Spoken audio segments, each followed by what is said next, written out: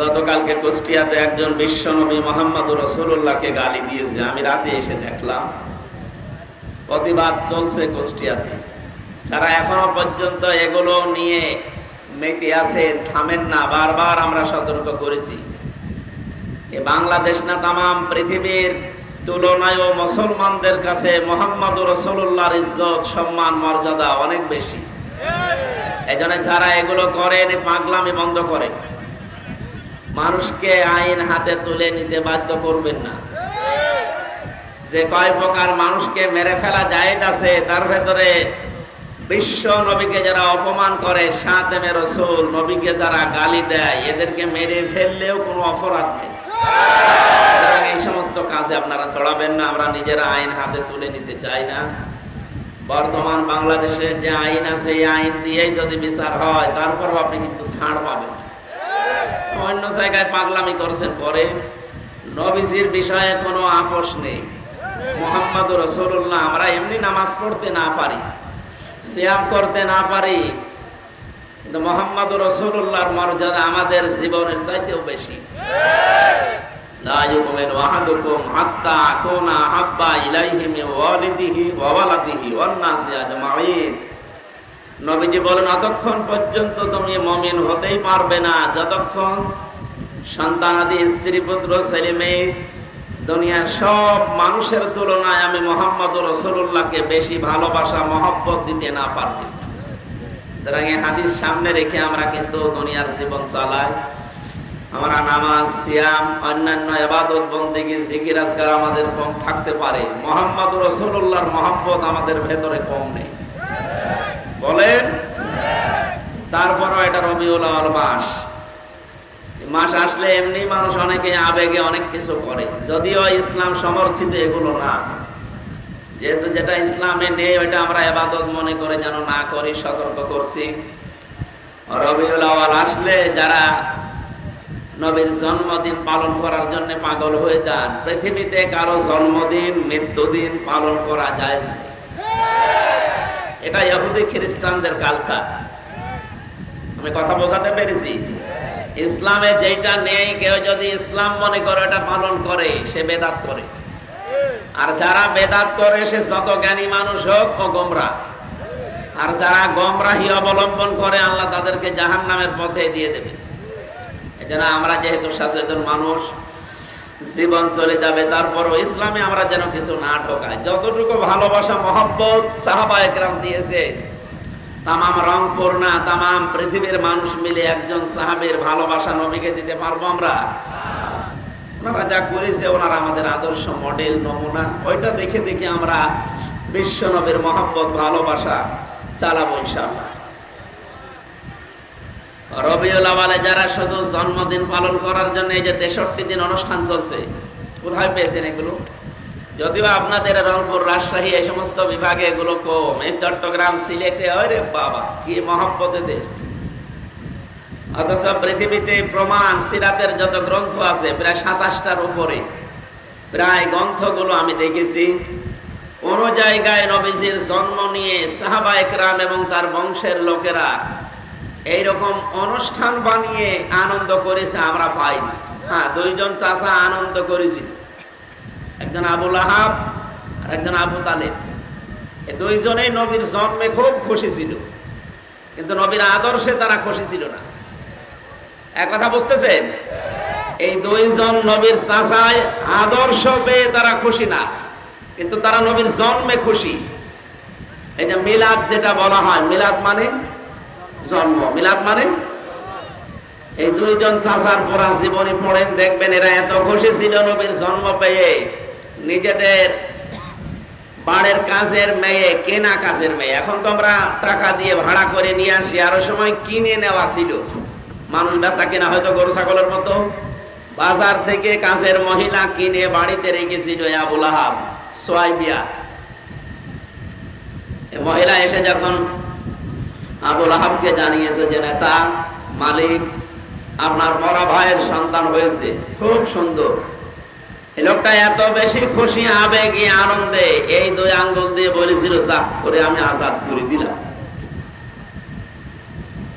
আল্লাহ খুশি হয়েছিলেন এই কাজটায়। কারণ নবীজির জন্য দুনিয়াতে কেউ কিছু করলে আল্লাহ এটা নষ্ট করে না। তার যদি ইমান নাও থাকে, কথা বুঝতেছে পৃথিবীর এটা প্রমাণ আছে যে নবীর জন্য যা যে করবে, ওইটা আল্লাহ ফেরত দেয় না। কারণ আল্লাহ নিজে মোহাম্মদ রসুল্লাহ আসে সমান আল্লাহ বলতে পারেন না?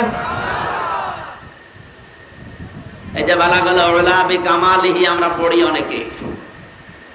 শেখ সাদি রহমতুল্লাহ আলাইহি একশো বিশ বছর দুনিয়ায় বেঁচে ছিলেন তিনি তিরিশ বছর এই পৃথিবীতে লেখাপড়া করেছিলেন, তিরিশটা বছর। জন্মের পর থেকে তিরিশ বছর পর্যন্ত একাধারে তিনি লেখাপড়ায় কাটিয়েছেন, পড়াশোনায়। বাকি তিরিশ বছর তিনি শুধু ভ্রমণ করেছিলেন তামাম দুনিয়ায়। বাকি তিরিশ বছর তিনি দুইটা কিতাব লিখেছিলেন। একটা গরিস্থান আর একটা বস্থা। এই দুইটা কিতাবের ভেতরে শেষের তিরিশ বছর চিন্তা করলেন, জীবনে বহু কিছু লিখেছি। মোহাম্মদ রসুল্লাহকে নিয়ে আমি কিছু লিখতে পারি উনি যখন একটা কবিতা লিখছিলেন রাতের বেলা ওলাবি কামালিহি তার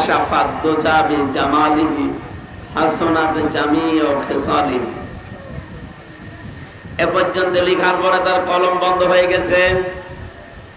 তাহাজ্জুদের নামাজ আদায় করে নামাজে তিনি ঘুমিয়ে গেলেন। স্বপ্নের ভেতরে মোহাম্মদ রসুল্লাহ সে ডাক দিয়ে বলে সাদি চিন্তা কিসের? এখানে একটা মাছ লাভের আপনারা শুনতেছেন? এই যে এত বড় একজন বুজুর্গ মানুষ, শেখ সাদি রহমতুল্লাহ আলাই, নাম শোনেননি? উনি নবীজিকে তাহাজ্জুদের নামাজের বাই নামাজের পার্টিতে ঘমন্ত অবস্থায় স্বপ্ন দেখেছিলেন। কি অবস্থায়?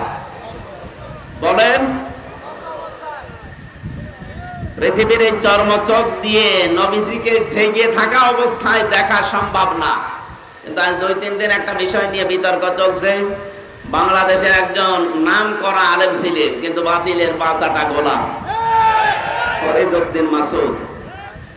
এ লোকটা আকিদা পেশ করেছে যে আমি জীবিত অবস্থায় রসুলকে দেখেছি। নাউজুবিল্লাহ। এটা কোন মমিনের আকিদা না, এটা ভ্রান্ত আকিদায় আছে। ও যদি তাওবা না করে, ও মুশরিক। কথা বলছেন এখানে হজরতে শেখ সাদি ঘুমের ভেতরে তিনি বললেন, হে রাসূল, আমার চিন্তার বিষয়ে জীবনে বহু কিছু লিখেছি, কোনোদিন আমার কলম থেমে যায়নি। আজকে আপনাকে আমি লিখতে গিয়ে তৃতীয় লাইনে আমার কলম থেমে গিয়েছে, আর মনে আসে না যে কি লিখব মিলাতে পারি না।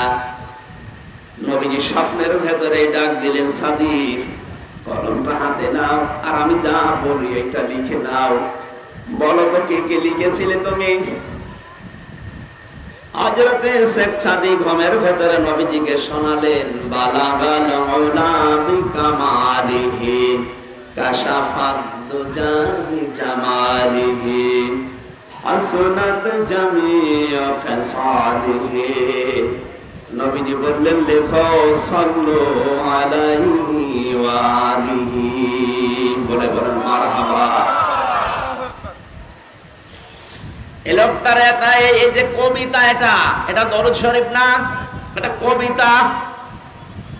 কিন্তু এটা এত বেশি প্রসিদ্ধি লাভ করেছে দুনিয়ায়।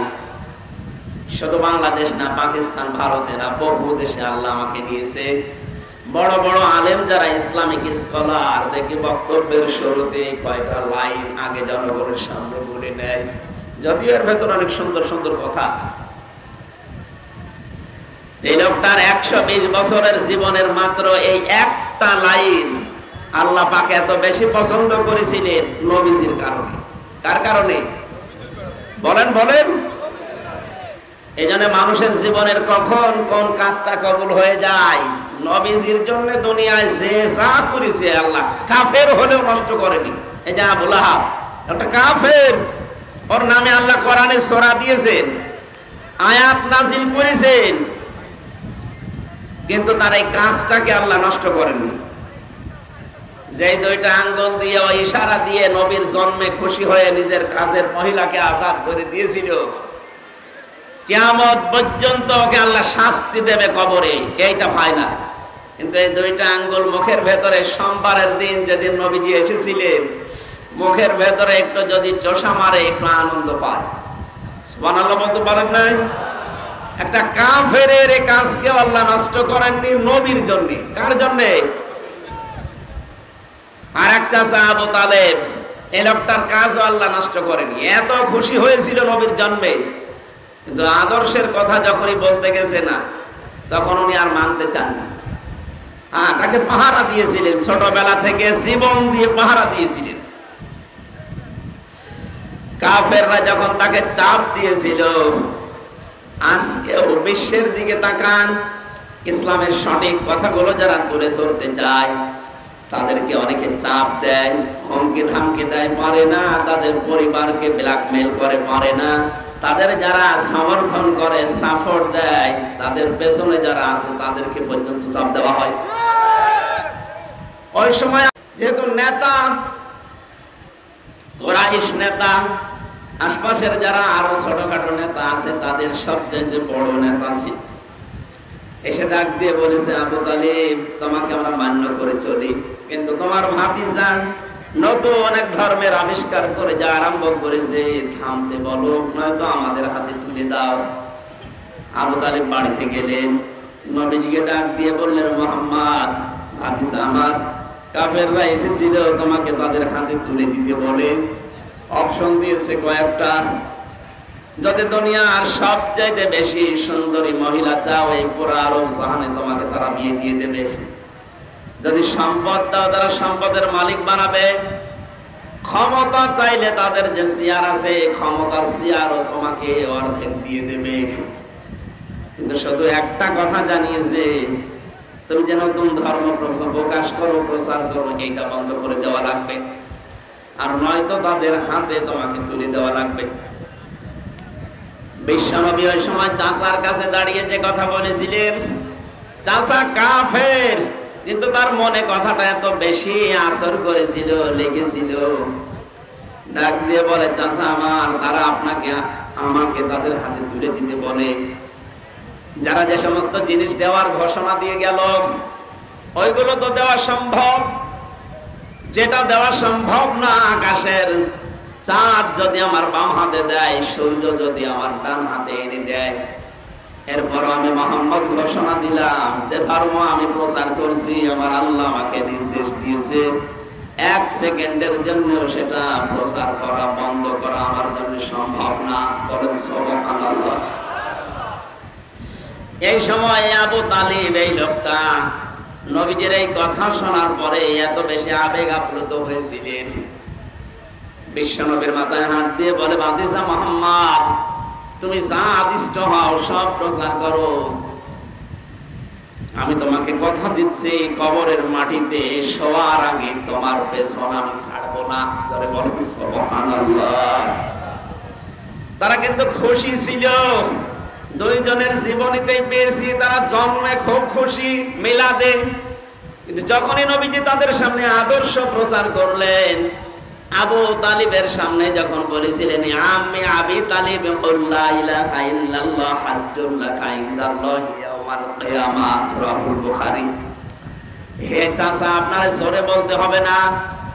শুধু আমার কানের কাছে মুখ নিয়ে আস্তে করে ঘোষণা দেন ইলাহা ঘোষণা লাগবে না। যেহেতু আমি নিজেই মোহাম্মদ রসুল্লাহ আমি নিয়ে নিলাম। শুধুমাত্র আল্লাহর একাত্মবাদের বিষয়টা আমার শোনান, কানের কাছে মুখ নিয়ে বলেন। পাশে যারা নেতা ছিল, আবু লাহাব, আবু সুফিয়ান, আবু জেহেল, এরা বলেছে, নেতা, পড়বা। এতদিন পর্যন্ত বাপদাদার ধর্ম মেনে চললা।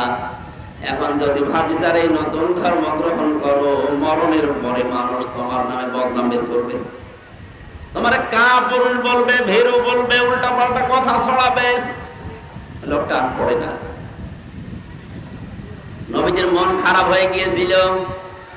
চিন্তা করলেন, কি হয়ে গেল সারাটা জীবন আমাকে গলে পিঠে করে, কাকে করে? নিজের সন্তান আলীকে পাত্তা দিত না। আমি মোহাম্মদ রসুল্লাহকে বুকে নিয়ে ঘুমাতো আমার দাদা আট বছর বয়সে এতেকালের সময় চাচার হাতে আমার তুলে দিয়ে গেছে। এখনও পর্যন্ত আমি মোহাম্মদের চাচার আন্ডারে থাকি। অথচ আজকে আমার চাচা জাহান্নামি হয়ে যাচ্ছে, তিনি মন খারাপ করলেন। কসসের 56 নম্বর আয়াতটা নিয়ে হাজির হয়ে গেলেন, হে নবী।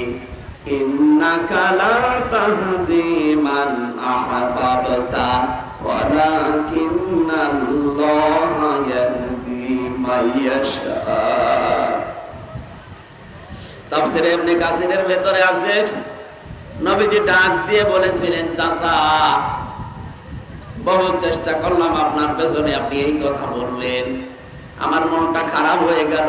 এই যে দেখছে জিব্রাইল এসে গেছে, কি নিয়ে এসেছে বার্তা? ফেরেস্তা জিব্রাইল বলে, আপনি মন খারাপ করবেন না, কাঁদো কাঁদো অবস্থা আপনার দেখতে পাচ্ছি। কেন আপনার মন খারাপ হয়? হেদায়েত কি আপনার হাতে আল্লাহ দিয়েছেন বলেন? এটা তো আল্লাহ নিজের হাতে রেখেছেন। এটা যে আপনার চাষা এটা আল্লাহ জানে। এ সারা জীবন আপনাকে গলে নিয়ে কাকে নিয়ে, পিঠে নিয়ে, বুকে নিয়ে মানুষ করেছে, খাওয়া দাওয়া দিয়েছে, আল্লাহ দেখেছে। কিন্তু লোকটার মন নেই। আপনি এত চেষ্টা করার পরও লোকটার মন নেই। এই জন্য আমার আল্লাহ পাক তাকে জোর করে হেদায়েত দেয়নি। কারণ হেদায়েত কে পাবে এটা আপনার চাইতে আল্লাহ ভালো জানেন বলেন, সুবহানাল্লাহ। লোকটা এত কিছু করেছিল জীবনে খুশি, আনন্দ মিলাতে কিন্তু নবীর আদর্শের কথা শুনে তার মুখ ফিরিয়ে নিয়েছে। এখানে হাদিস হচ্ছে এটা, কেয়ামতের দিন আমার এই পায়ের নিচে জাহান্নামের জুতা জুতা আল্লাহ পরিয়ে দেবে। এই জুতার গরমের ঠেলায় তার মাথার মগজ পর্যন্ত টকবক করে ফুটবে। আর এক চাচা আবুল আহাবের কথা শুনলেন। বিশ্ব নবী সাফা পাহাড়ে দাঁড়িয়ে বলেছিলেন হে সকাল। তার মানে মানুষ যদি বিপদে পড়তো ওই সময়, পাহাড়ের পাদদেশে উঠে তারা ঘোষণা দিত, হে সকাল, আমার বিপদ চলছে। লোকজন সবাই যখন পাহাড়ের পাদদেশে হাজির হয়ে গেছে, ডাক দিয়ে বলে, মোহাম্মদ, তোমাকে দেখতে পাচ্ছি। কি হয়েছে তোমার? কি বিপদ বলো? নবীজি ওই দিন বলেছিলেন, আমি যদি বলি পাহাড়ের পাদদেশে, পেছনের সাইডে একদল শত্রু সেনা অবস্থান করছে, তোমাদেরকে আক্রমণ করার জন্য, আমি তোমাদের যেটা অপেক্ষা করার জন্য বলছি, সতর্ক হওয়ার জন্য, এখন যদি সতর্ক না হও, তাহলে তারা আক্রমণ করবে। ওরা বলেছিল, আপনি যা বলেন, আমরা সব বিশ্বাস করি, কারণ কোনোদিন আপনি মিথ্যা বলেননি, এটা আপনার জানি যখনই নবীজি বললেন, তোমরা যদি এই মুহূর্তে আল্লাহর একাত্মবাদের স্বীকৃতি না দাও, তাহলে তার গজবের ফেরেস তারা অবস্থান নিচ্ছে, তোমাদের উপর আক্রমণ চালাবে। সামনে কেউ কোনো কথা বলে নাই হাজারো মানুষের। একটা লোক দাঁড়িয়ে একটা পাথর নিয়ে নবীজির দিকে নিক্ষেপ করেছিল আর জানিয়েছে, দাব্বালাকা আদি হাদা জামাতানা ইয়া মুহাম্মদ। এ মুহাম্মদ তুই ধ্বংস হয়ে যা। এই কথা বলার জন্য আমাদেরকে একত্রিত করলি। তুই ধ্বংস হয়ে যা, বরবাদ হয়ে যা, তুই নষ্ট হয়ে যা। আল্লাহ পাক এত বেশি নারাজ হয়েছিলেন এই কথার দ্বারা। হাত তুলে পাথর নিক্ষেপ করেছিল মাত্র এক হাত দিয়ে। কয় হাত? বলেন বলেন। অথচ কোরআন বলছে তাব্বাত ইয়াদা আবিলা হাবি ওয়া তাব। এখানে তাব্বাত ইয়াদুন না ইয়াদা নিয়েছিল তাসনিয়ার কারণে নুনটা পড়ে গেছে। এসাফতের কারণে নুনটা পড়ে গেছে। ইয়াদা শব্দের হচ্ছে দুই হাত। আল্লাহ বলেন আবুল আহাবের দুই হাতি ধ্বংস হয়ে যা প্রশ্ন আসতে পারে, আল্লাহ কি অবিচারক? বলেন, সে তো এক হাত দিয়ে পাথর নিক্ষেপ করেছিল নবীর দিকে। আল্লাহ যদি রাগ করে কিছু করেও, তাহলে তার এক হাত ধ্বংস হওয়ার কথা বলবেন। কথা বলেন কেন? দুই হাতের কথা দিলেন। আমি যদি এখন এই যে জিনিসটা পাথর মনে করি, এখান থেকে নিক্ষেপ করি, শুধু এক হাতের দ্বারা হবে না, এই হাত নড়াচড়া করবে। কথা বলেন। আপনি দেখেন, কোন পাথর নিয়ে যদি জোরে নিক্ষেপ করেন, দূরের দিকে এই হাত দিয়ে যদিও মারেন এই হাত নড়াচড়া করবে। সাপোর্ট দিচ্ছে, সমর্থন জানাচ্ছে। আল্লাহ পাক বলেন যখন পাথর নিক্ষেপ করে নবীর দিকে, এক হাত দিয়েই করেছিল, কিন্তু এই হাত দিয়ে একটু নড়াচড়া করেছে। এই জন্য আমি ওই হাতও রাখলাম না নষ্ট করে দিলাম। এতটুকু আল্লাহ শেষ করেননি। শুধু আয়াত নাসিল করে আল্লাহ শেষ করবেন, তা না, কেয়ামত পর্যন্ত আয়াত থেকে মানুষ যেন শিক্ষা নিতে পারে। যেহেতু তার দুই হাত আল্লাহ ধ্বংস করেছিলেন, কারণ এতটুকু যে হাত একটু নড়াচড়া করে সাপোর্ট দিয়েছে। আজ দেড় হাজার বছর পর বিশ্ব নবীর আদর্শের পেছনে যারা লেগেছেন, বিভিন্ন মানুষ আমরা দেখতে পাচ্ছি। হয়তো আপনি এই ডান হাত দিয়ে শক্তি সামর্থ্য অনুযায়ী কাজ করছেন, আর বাম হাত দিয়ে পেছনের দরজা দিয়ে অনেক রাঘব টাকা পয়সা ক্ষমতা দিয়ে আপনাদেরকে সাপোর্ট দিচ্ছে। আবুল আহাবের যদি এক হাত দিয়ে পাথর নিক্ষেপ করে দুই হাতে ধ্বংস হয়ে যায়, আজ বিশ্বে যারা মোহাম্মদ রসুল্লাহর আদর্শের পেছনে লেগেছে আর পেছনে যারা নড়াচড়া দিচ্ছে বাম হাতের মতো, কাউকে আল্লাহ ছাড় দেবে না, ধ্বংস করে দেবে। আল্লাহ পাক বলেন, মা বনা আনহু মালুহু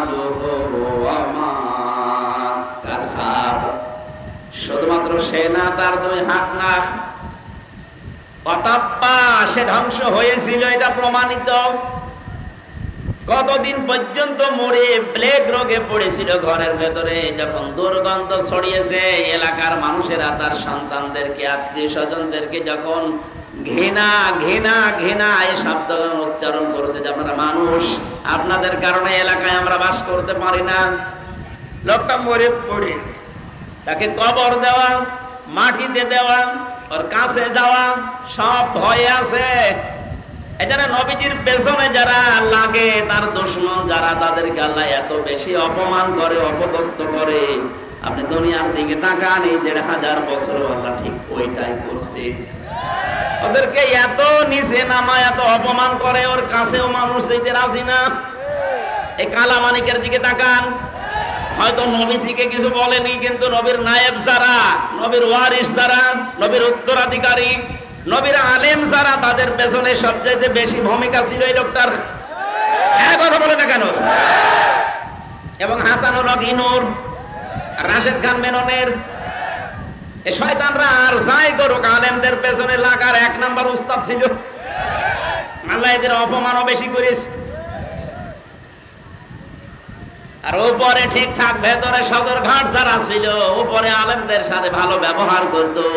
আর ভেতরে গোড়া কেটে দিত, তার ভেতরে হাউ আঙ্কেল একজন।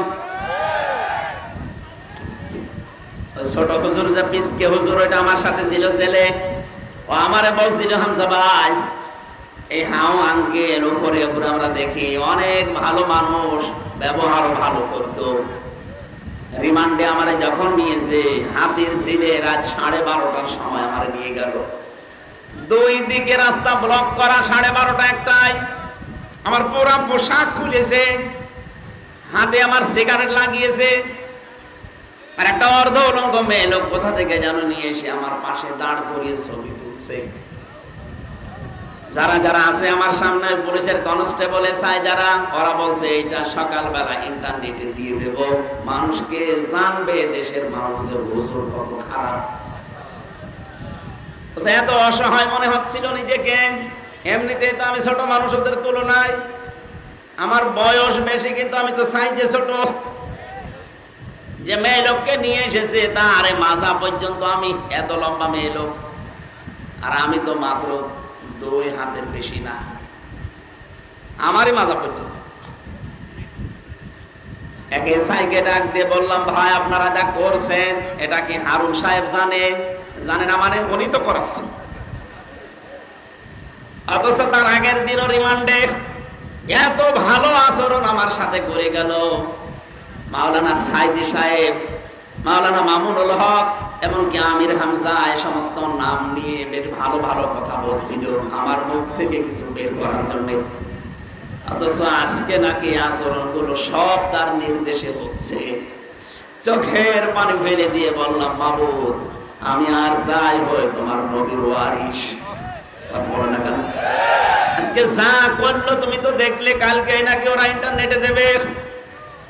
যা যা করেছে আল্লাহ, তুমি যদি সত্যি এগুলো দেখতেছো, আমার বিশ্বাস তুমি ওর সাথে এরকম আল্লাহ করে না? হ্যাঁ বলেন বলেন। ছোট হুজুরের হয়তো কয়েক ইঞ্চি, আমি জানি না, কিন্তু এর যে তিন ইঞ্চি তাম দুনিয়া চিনি ফেলেছি। অনেক মহিলারা এখন জিকির করছে, তিন ইঞ্চি তিন ইঞ্চি। মানুষ জিকির করে আল্লাহ, আর ওরা জিকির করছে তিন ইঞ্চি। আলেমদের উপরে উপরে অনেক ভালো ব্যবহার করতে দেখেছি কাউন্টার টেরোরিজমের রিমান্ডে কিন্তু ভেতরে ভেতরে মানুষগুলো এত বেশি জঘন্য আচরণ করেছে একটাকে আল্লাহ ছাড়ে নাই। আমার যে লোকটা এগারো ঘণ্টা টাঙিয়েছিল এই আসাদুজ্জামান কাউন্টার টেরোরিজমের প্রধান। মানুষ নামে কলঙ্ক, একটা টাটকানির ভেজাল শয়তান। আমার কালো কাপড় দিয়ে চোখ বেঁধে নিয়ে মাটির নিচে নিয়ে মানুষকে বলতো পিটা অথচ নিজের কামরায় যখন নিয়ে যেত রাতে, তখন তার আচরণ ফেরেস্তার মতো। পরবর্তীতে কনস্টেবল যারা, এসআই যারা ওদের জিজ্ঞাসা করতাম, ভাই, এই এই যে আচরণগুলো করল, উনি জানে না। জানে না মানে উনি তো করাচ্ছে। আমার মোবাইলটা তিন বছর পরে আদালত ফেরত দিয়েছে কয়েকদিন আগে। আমার মামলা সব খারিজ হয়ে গেছে, ওই দিন। ফ্ল্যাশ মেরে সব নষ্ট করে দিয়েছি। এমন কোনো কিছু নেই যে ওরা দেখে নাই। যা ছিল, এমনকি সেই বিয়ের সময় একটা ছবি তোলা ছিল ম্যাডামের। ওই ছবিটা পর্যন্ত আমার রিমান্ডে দেখিয়ে বলছে কে? শাবনুরের ছবি না পূর্ণিমার ছবি আপনার এই মোবাইলে? আমার পূর্ণিমা পূর্ণিমা কর কোথায় পাবো আমি? দেখি ওই ম্যাডামের বিয়ে রয়েছে আমার ম্যাডাম এবার আমার বলছে, হুজুর, এত সুন্দর বউ পায় কি করে? দাঁড়ান, আপনার বউ তুলে নিয়ে আসছে। বলেন, ওর চরিত্র কি দেখেছি আমি আর চাই হই আমি নিজে আলেম দাবি করি না, কিন্তু মানুষ তো আমার আলেম বলে। এক কথা বলে না কেন? দেশের শিক্ষা ব্যবস্থা অনুযায়ী অন্তত আমার সার্টিফিকেট আছে। আমি কামেল করেছি ফেকা নিয়ে, আমি অনার্স মাস্টার্স করেছি কোরআন নিয়ে। এই হিসাবে মানুষ আমাকে এই দেশের সার্টিফিকেট অনুযায়ী আলেম বলে। আমাকে ভাবে, আপনি যা করলেন অথচ মাঝে মাঝে এসে আপনার কোনো দোষ নেই, আমরা দোষ নেই, আপনি এগুলো করেন কেন? সাধারণ যেভাবে আচরণ করেন, মানুষের সাথে ওইরকম করেন। জেলে দিয়ে দেন। জেলে থাকা অত ঝামেলা না। কিন্তু আমরা রেখেছিল যে ফাঁসির কন্ডেম সেলের ভিতর। চব্বিশ ঘণ্টা তালা লাগিয়ে রাখ এদিকে আড়াই হাত, এদিকে সাড়ে তিন হাত। মনে হচ্ছে কবরে আছে। এটা দুদিন পাঁচ দিন সাত দিন তিন বছর এক টাকা আল্লাহ ছাড়ে নাই। দেখেন যেইগুলো এরকম উপরে ভালো ছিল ফিটফাট ভেতরে সদরঘাট প্রত্যেককে আল্লাহ অপমান করেছে। অন্তর্বর্তীকালীন সরকার আসার পরে দেখি ওদেরকে সব করেছে। শুধু ওএসডি না, ওদের এখন যা অবস্থা। সেদিন আমার মামলার রায় হওয়ার দিন আমি আদালতে দাঁড়িয়ে কল দিয়েছিলাম মামলা রায় হয়েছে এতদিন ওরা আমি স্যার বলতাম এখন উল্টো করে আমার স্যার বলছে।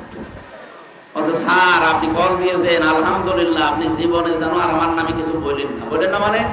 তুই ধরা পড়ার পরে আমার বাবার কাছ থেকে দশ লাখ টাকা নিয়েছিস। বললে যে হুজুরের নামে আমরা আর মামলা দেব না, টাকা দে। আমার বাবা একেবারে হন্তদন্ত হয়ে তাড়াতাড়ি করে আট লাখ পাঠিয়েছে। বললি যে মামলা দেব না, নাই তো পঞ্চাশটা মামলা দেব। কথা ঠিক রাখে না টাকাও নিল আর একটা মামলাও দিল, আবার রিমান্ডেও নিল। এদের যে চরিত্র এরা যা করেছিল, ওপরে ওপরে আর ভেতরে যা করেছে।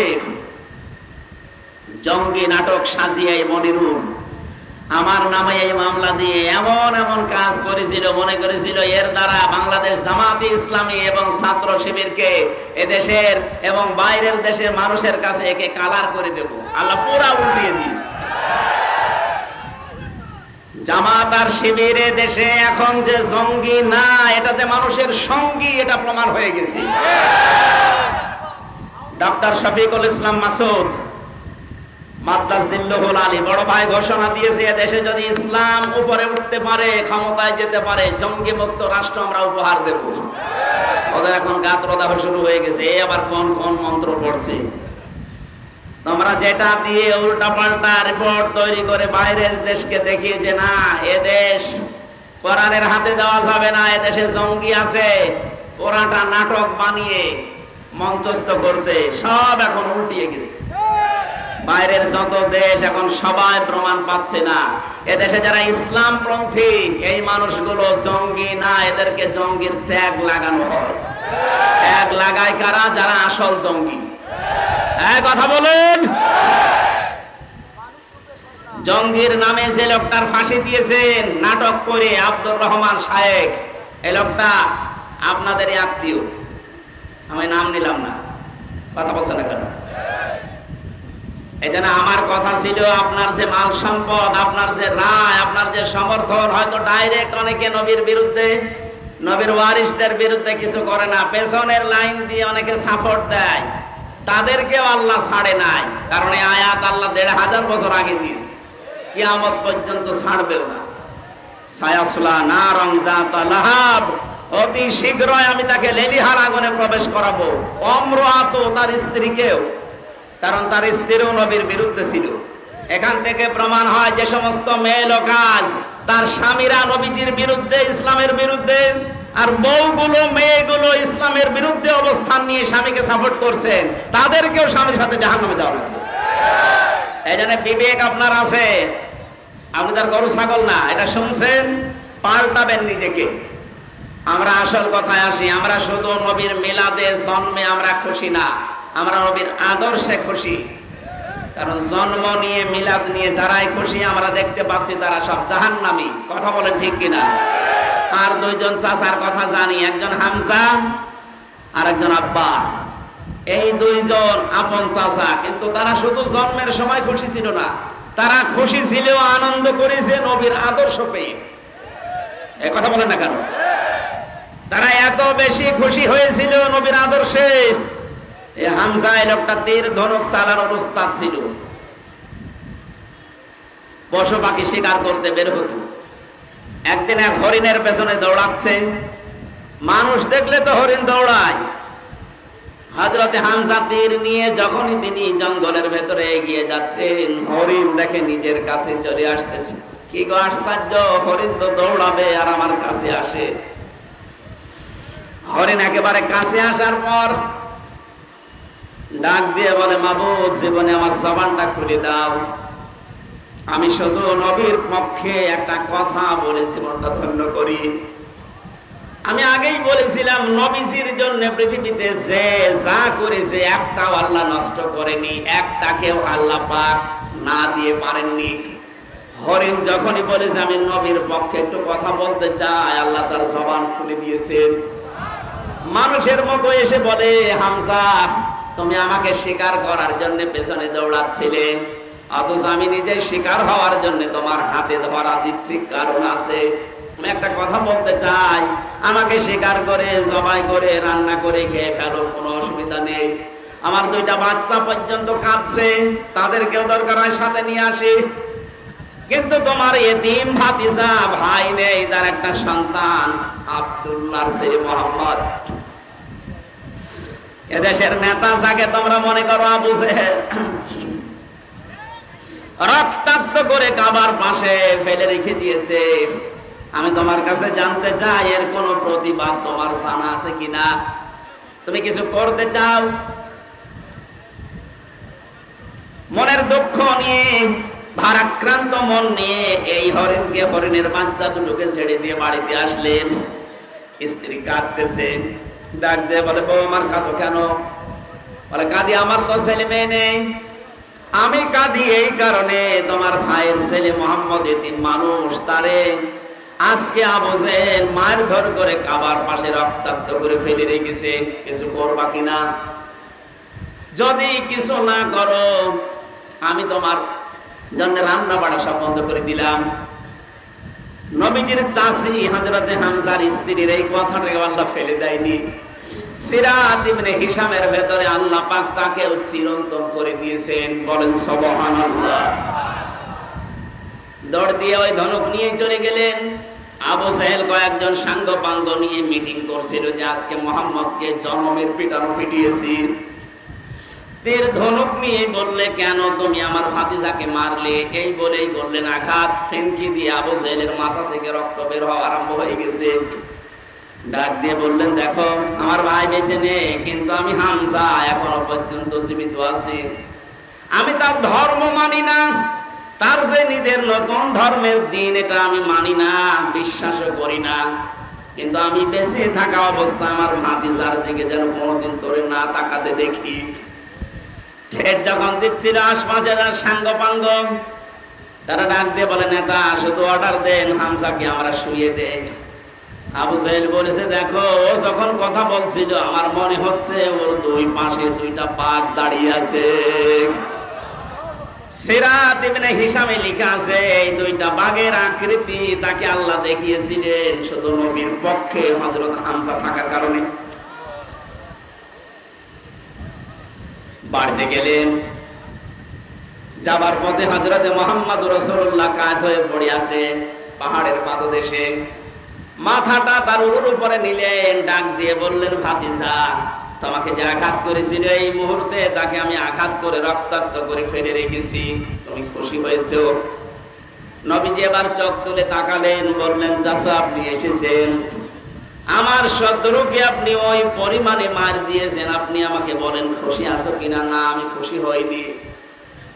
হাজরত হামজা ওই সময় বলেছিল, ভাতিজা, কি করলে তুমি খুশি হবে তাই বলো, আমি আজ তাই করব।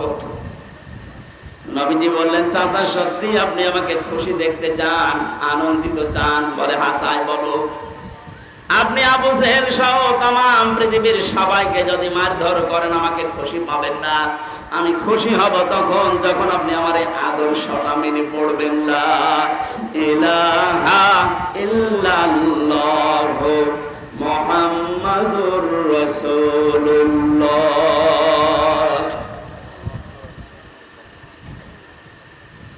হজরতে হামসা ওই দিন বলেছিল, তোমাকে আজকে খুশি করার জন্য এহানো কাজ নিয়ে আমি করব না। এই মুহূর্তে তোমার সাথে আমি ঘোষণা দিয়ে দিলাম। তিনি নবীর আদর্শে নবীর জীবন চরিত্র পেয়ে খুশি হয়ে নিজের জীবনটা পর্যন্ত দিয়ে সত্তর টুকরা হয়েছিলেন উহুদের ময়দানে। তারপর নবীর আদর্শ ছাড়েন নাই। আল্লাহ পাক খুশি হয়ে আয়াত নাযিল করেছেন কোরআনে, রাদিয়াল্লাহু আনহুম ওয়া রাদু।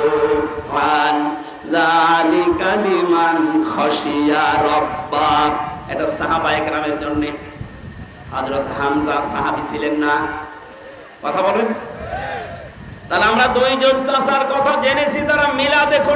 আদর্শে খুশি না। দুইজনের জাহান্নামী। আবু তালেব আর আবু জাহাব অপর দুইজন চাচা হজরতে হামজা হজরত আব্বাস। এ দুইজন শুধু তারা জন্মে মিলাদে খুশি হয়নি, তারা আদর্শ পেয়ে খুশি হয়ে গেছে। আনন্দ করেছে নিজের জীবন পর্যন্ত মিলিয়ে দিয়েছে। আল্লাহ দুইজনকে জান্নাত দিয়ে দিয়েছে। আজকে রবিউল আওয়াল মাসে আমরা সিদ্ধান্ত নিতে চাই, বিশ্ব নবী মোহাম্মদ রসুল্লাহ শুধু মিলাদ পড়ে খেসড়ি জিলাপিকে আমরা শেষ করব না।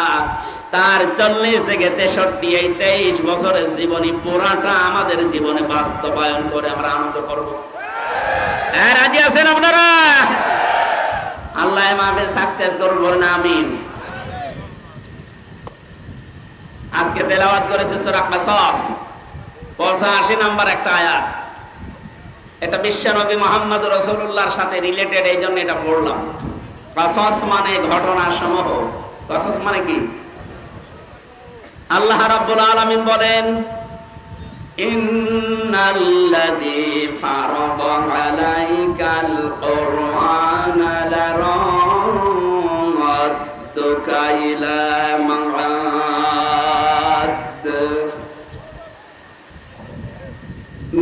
আল্লাহ জানাচ্ছেন, হে নবী, অবশ্যই আল্লাহ পাক আপনার উপরে কোরআনের আইন মানা ফরজ করে দিয়েছেন। এখান থেকে মাসলা বের হয় এটা কিছু তো নবীজির জন্য? কোরআনের যে আইনগুলো আছে পাঁচশো আইন আছে। কয়টা? বলেন বলেন। এই পাঁচশো আইন মানা নবীজির জন্য শুধু ফরজ? এদের ব্যাখ্যা করতে গিয়েছে রাজফের ছত্রিশ বিয়াল্লিশ নাম্বার আয়তে আল্লাহ জানিয়েছেন وإنه لذكر لك ولقومك وسوف تسألون হেনবি আপনাকে আর আপনার উম্মত বলে দাবি দাবি করবে তাদেরকে আমি কিন্তু কেয়ামতের দিনে এই প্রশ্নটা প্রথম করব যে আমার কোরআনের আইন মানা হয়েছে কিনা তাহলে কোরআনের আইন মানা এটা ফরজ, নামাজের মতো, সিয়ামের মতো। কথা বলে না কেন? যেটা ফরজ কাজ, ফারাজুন শব্দ আল্লাহ নিজে দিলেন কোরআনে। ইন্নাল্লাযী ফারাদা। আল্লাহ কিন্তু কাতাবা দেননি যে লিখে দিলাম না, ফারাজ আমি ফরজ করে দিলাম।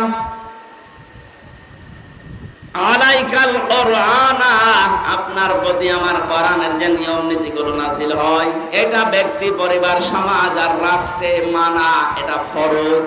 এটা কি? ছিয়ানব্বই ভাগ মুসলমান আমরা এই দেশে বাস করি। কোরআনে কারিমের প্রচার করো। এই যে শব্দটা আল্লাহ পাক বলেন, কোরআন প্রচার করো।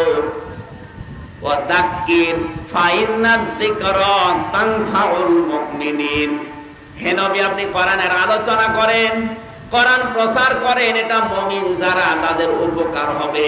এই বিধানটা কার? আরও বলেন। অথচ সাড়ে পনেরো বছর এ প্রচার এ আদেশ মানতে গিয়ে এ সাহেবের মতো মানুষেরা বহু মানুষের সাথে বার্গেন করা লেগেছে আমি তো রংপুরে জেল থেকে বের হওয়ার পরে কয়েকটা অনুষ্ঠানে এসেছিলাম, ওই আগস্টের পাঁচ তারিখে। ইনি একজন মেয়র রানিং তখন, তারপরও যারা দায়িত্বে ছিল ওই সময়, ওই সমস্ত মানুষের সাথে বার্গেনিং করা লেগেছে ছিয়ানব্বই ভাগ মুসলমানের দেশে। কেন আমি কোরআন প্রচারের এই অনুষ্ঠানে বাধা দেবেন বলেন ওরা জবাব দিতে পারেনি? এই যে সাক্ষী বসে আছে, জিজ্ঞাসা করেন পুলিশ কমিশনের কাছে পর্যন্ত ওনার বার্গেনিং করা লিখেছে। অথচ কোরআন প্রচার করা এ নির্দেশ আল্লাহর এই আইনকার বলেন বলেন। আইনটা মানা তো তার জন্য ফরজ ছিল। কিন্তু নিজের চেয়ার ঠিক রাখতে গিয়ে জালেমের দশমত করতে গিয়ে, জালেমের স্বপ্ন পূরণ করতে গিয়ে তারা কোরআনে পর্যন্ত বাধা দিয়েছে। আল্লাহ পোড়াটা উল্টিয়ে দিয়েছে আজ। সুতরাং কোরআনের আইন মানা ফরজ, আমার মনে হয় উনি যেহেতু কোরআন হাদিস পড়ে, কোরআন প্রচার হবে, প্রসার হবে, মানুষ জানবে, শুনবে, মানবে, এটা নফল না, এটা ফরজ। আজকের এই আয়োজনে হাজার হাজার টাকা খরচ এমনি খেলা করার জন্য না, লক্ষ মানুষের ভেতরে একটা মানুষ যদি মন মানসিকতা পরিবর্তন হয়ে, আল্লাহর বিধানের দিকে ঘুরে আসে যত মানুষ অনুষ্ঠানে টাকা দিয়েছেন, প্রত্যেকের টাকা ওসমানের মতো কবুল হয়ে যাবে। নবীজিকে আল্লাহ জানিয়েছেন, আমার কোরআনের আইন মানা ফরজ, যত আইন আছে সব। না কয়েকটা? বলেন বলেন। তাহলে কোরআন প্রচার করা, প্রসার করা, কায়েম করা, এর জন্য অর্থ খরচ করা, সময় দেওয়া, আজকে গুরুত্বপূর্ণ সময়গুলো, টাকাগুলো সব আমরা খরচ করছি। এইটাই কারণ আমাদের নির্দেশ যে আপনি প্রচার করেন, প্রসার করেন, কায়েম করেন। কারণ তিনটা জায়গায় যদি কেউ অর্থ খরচ করে, ওই টাকার হিসাব আল্লাহ কিয়ামতে নেবেন না।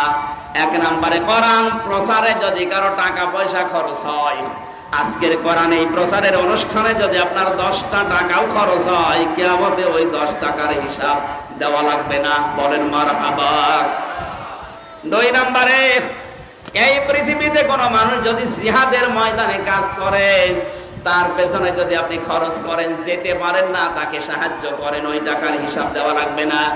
তিন নাম্বারে যদি আপনার পরিবারস্থ লোকদের জন্য, বিশেষ করে যাদের সাথে রক্তের সম্পর্কগুলো আছে, এদের পেছনে যদি আপনার টাকা খরচ হয়, ওই টাকার হিসাব দেওয়া লাগবে না। এখানে মাসলা আসে আজ অনেকে কৃপণ এত বেশি, পরিবারস্থ লোকদের জন্য খরচ করতে চান না না, এটা উচিত না।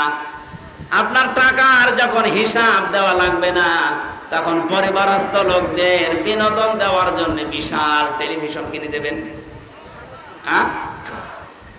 শরীয়তের ভেতর থেকে যতটুকু বিনোদন দেওয়া যায়, অতটুকুর জন্য যদি আপনি তার জন্য টাকা খরচ করেন, এই যে মনে করেন ওয়াইফাই লাইন নিয়েছেন, ইন্টারনেট প্রতি মাসে এক হাজার টাকা বিল দেওয়া লাগে। আপনি যদি দেখেন আপনার ছেলে, মেয়ে, আপনার বউ, এই ইন্টারনেট ফ্রি থাকার কারণে মাসে প্রতিদিন এখান থেকে কোরআনের নির্দেশগুলো নামায়।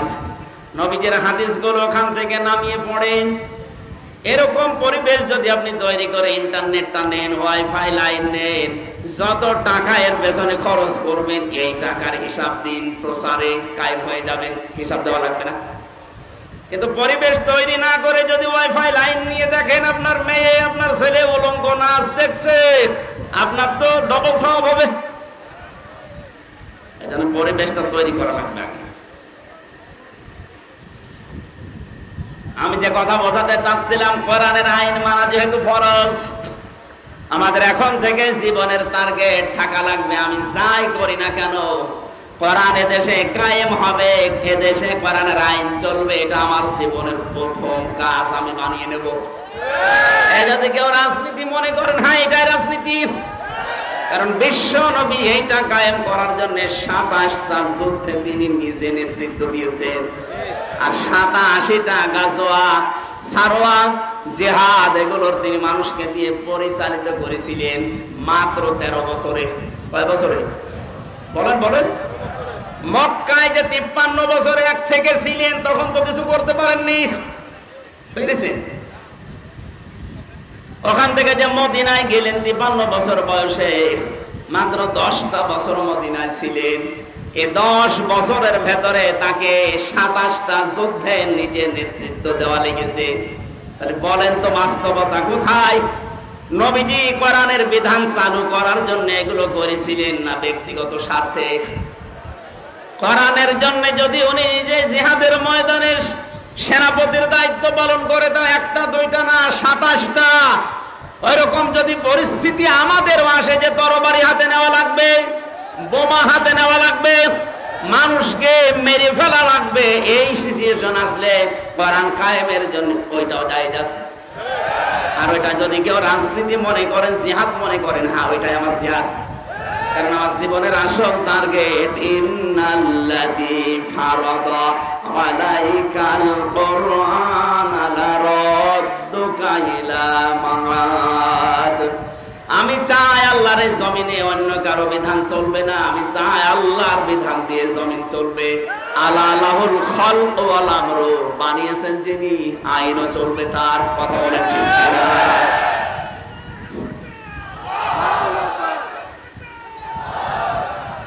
এবার আসেন দ্বিতীয় শব্দে রদ্দুকা এই আলেম যারা আছেন, জ্ঞানী মানুষ যারা গ্রামার বসে আর্মি। লাম দিয়েছেন আল্লাহ। লামে তাকিদ। আল্লাহ বলেন রদ্দুকা ইলা মাআদ। হেনবি এটা কায়েম করতে গিয়ে আজকে আপনি অসহায় হয়ে পড়েছেন, কেউ আপনার পাশে নেই। শুধু একজন মানুষ আপনাকে সাপোর্ট করছে। বন্ধুদের ভেতরে হযরত আবু বকর। লারদ্দুকা ইলা মাআদ। আপনাকে আজ ওরা যেখান থেকে তাড়িয়ে দিচ্ছে, এই জায়গায় আমি আল্লাহ আপনাকে আবার ফেরত নিয়ে আসব, বীরের বেশে। দেড় হাজার বছর আগের এই কথা, আমার মনে হয় দুই হাজার চোদ্দ সালের পাঁচে আগস্টে আল্লাহ বাস্তবে দেখিয়েছেন।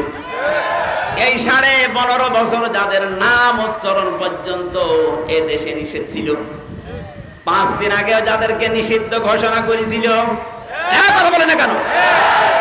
মনে হচ্ছিল ওই সময় পুরো জমিন আমাদের জন্য সংকীর্ণ। কোন জায়গায় আমাদের জায়গা নেই। শেষের পাঁচ দিন কি অবস্থায় ছিলেন আপনি বলেন?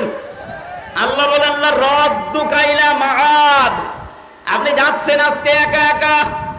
নবীজি ওখান থেকে বের হলেন। বাড়ি থেকে বের হয়ে তিনি আবু বকরের বাড়ি থেকে ডাকলেন, আবু বকর, সঙ্গে সঙ্গে হাজরত আবু বকর একটা টোপলা মাথায় নিয়ে দাঁড়িয়ে। নবীজি বলেছিলেন, তুমি কি ঘুমিয়েছিলে না? একটা ডাক দিলাম তাও আস্তে করে, চলে আসলে মানে? হে আমার সাথে পাহাড়ের সাথে ভয় পাবেন না। আমরা দুইজন না, ওরা যদিও অনেক মানুষের পা আমরা দেখতে পাচ্ছি। আমরা দুইজন না, আমাদের সাথে মহান আল্লাহ আছে। বিপদের এই কঠিন মুহূর্তে নবীজির এই কথাকে শোনার পরে আল্লাহ এত বেশি খুশি হয়েছিলেন। তাদেরকে ধোকা দিয়ে বোকা বানিয়ে ওখান থেকে আল্লাহ সব ফেরত পাঠিয়েছেন। কষ্ট করে করে নবীজি ওখান থেকে মদিনায় যাচ্ছিলেন, কিন্তু পাঁচ শেষার দিতে দিতে যায় দেখে হজরত আবু বকর। তিনি ডাক দিয়ে বললেন, আবু বকর, পায়ে কি ব্যথা? সাপে কামড় দিয়েছিল এই জন্য কি পায়ে ব্যথা পেয়েছ? পায়ে আমার শাঁসর দাও কেন? হাজরতে আবু বকর বলে আর রাসূল আল্লাহ সাপে কাটার যন্ত্রণা তো ওই সময় শেষ হয়ে গেছে। কিন্তু আপনি যখন সামনে দিয়ে হেঁটে যাচ্ছিলেন, পেছনে আমি যখন হেঁটে হেঁটে যাই, দেখলাম আপনার পায়ের সাপ মাটিতে মালি মাটিতে পড়তে পড়তে যাচ্ছে পাহাড়ি এলাকায়। আমি আবুল হাবকে চিনি অত আবুল হাকাম। মানুষের পায়ের চিহ্ন পর্যন্ত দেখে বলে দিতে পারে, এটা কার ছেলে, কখন হেঁটে গেছে?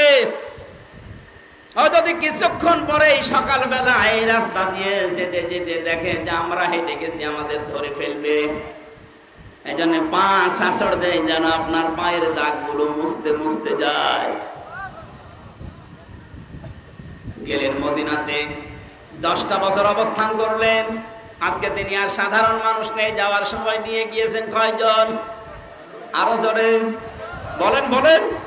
এবার আসার সময় আসতেছেন দশ হাজার সাহাবি নিয়ে। প্রত্যেকের হাতে তরবারি। আমার তো মনে হচ্ছে পাঁচ তারিখে এর আগে যে পাঁচ দিন আগে মাত্র এক তারিখে নিষিদ্ধ ঘোষণা করেছিল, পাঁচ তারিখে পাঁচ দিনে এই দেশে একশো জনের আটান্ন জন মানুষ ইসলাম পন্থী হয়ে গেছে। কয়েকদিন আগের জরিপ বলছি দেশে একশো জনের আটান্ন জন মানুষ এখন চাচ্ছে যে দেশটা ইসলাম দিয়ে চলুক। আপনি যেটা দেন এভাবে কয়েকদিন দেখবেন দেশে একশো জনের, একশো জন মানুষই বলবে যে আমরা ইসলাম দিয়ে দেশ চালাতে চাই।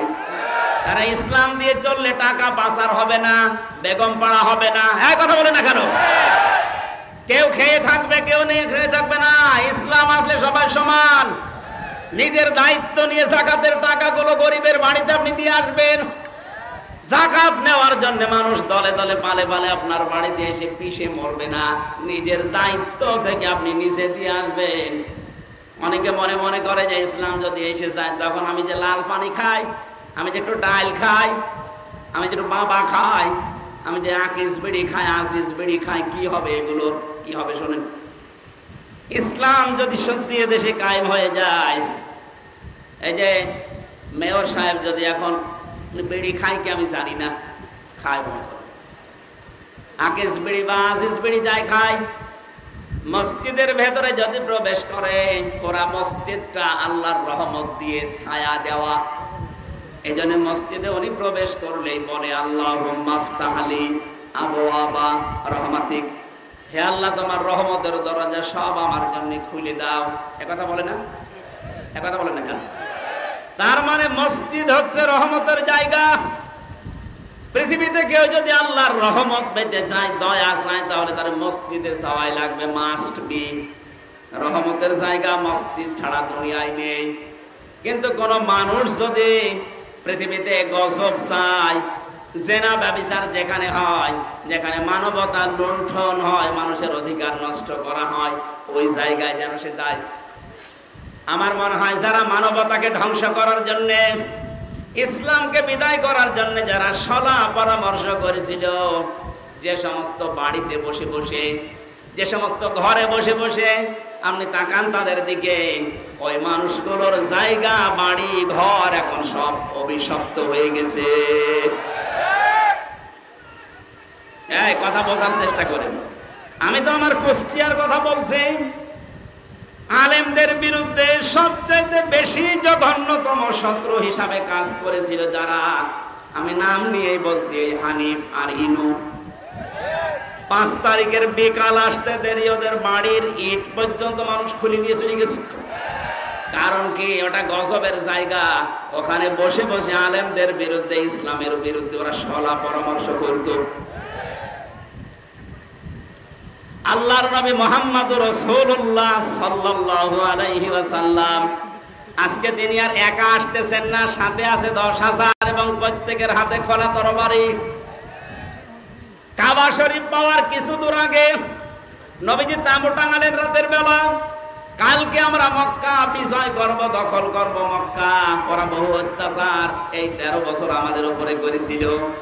যাদেরকে ওরা হাত কেটে দিয়েছে, পা কেটে দিয়েছে, সেই আম্মা আর ইয়াসির, বেলাল, খাবায়েব খোব্বাব সব আজকে সাথে এসেছে। বিশ্বনবী সবাইকে ডাক দিয়ে বললেন, যুদ্ধের কিছু কৌশল আছে। ওরা আবু সেহেল তো বদরের ময়দানে শেষ হয়ে গেছে, নেতৃত্বে আছে আবু সফিয়ান। লোকটা ছাড়বে না। খুব বিচক্ষণ মানুষ। এখানে আমাকেও বিচক্ষণের পরিচয় দেওয়া লাগবে।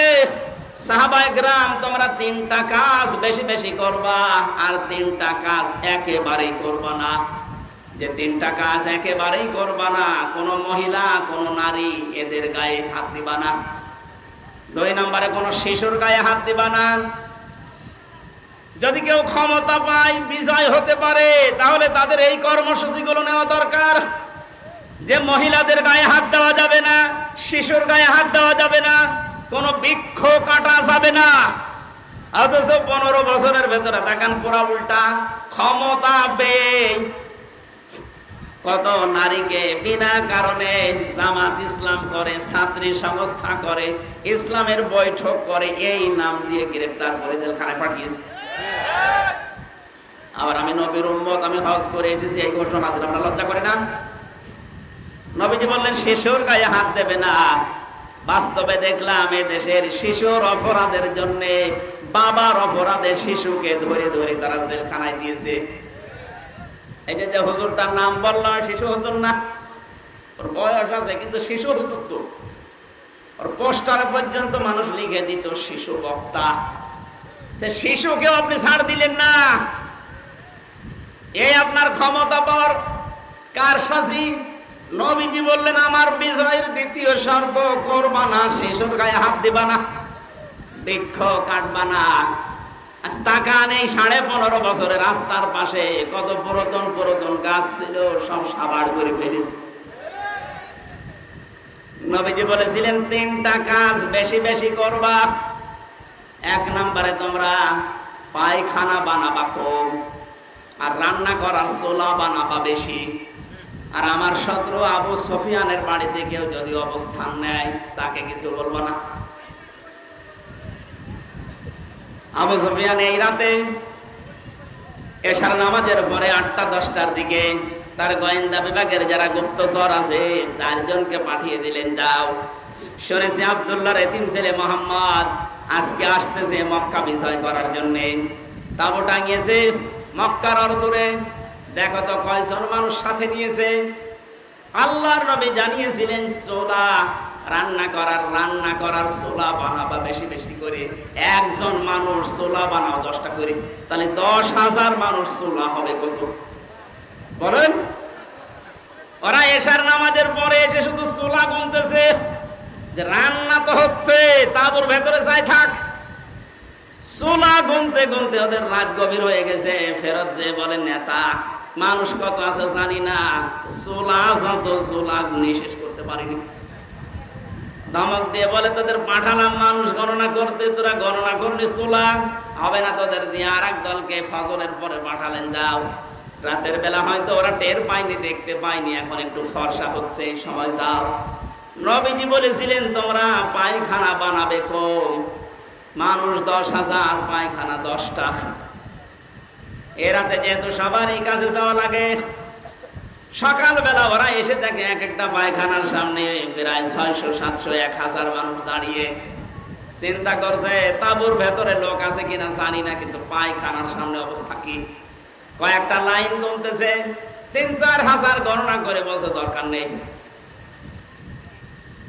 ডাক দিয়ে বলে, কি অবস্থা? মানুষ কত আছে জানি না। এক একটা পায়খানার সামনে মানুষ যত আছে লাইন গণনা করে শেষ করতে পারিনি। আবু সফিয়ার রাগান্বিত হয়ে বলে, বেটা বিয়াদ বলল, পাঠালাম কি আর করিস কি? তোদের দিয়ে হবে না, আমি নিজে যাব আজ।